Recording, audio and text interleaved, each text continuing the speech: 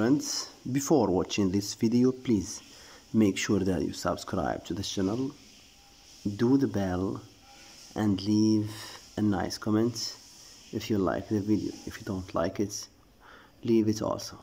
Thank you for watching this video. See you next time.